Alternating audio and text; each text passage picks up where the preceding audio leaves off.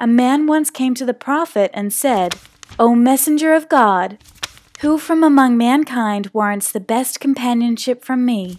He replied, Your mother. The man asked, Then who? The prophet replied, Your mother. The man then asked, Then who? So the prophet replied again, Your mother. But the man then asked, Then who? And he replied, Then your father. Find the missing piece at whyislam.org.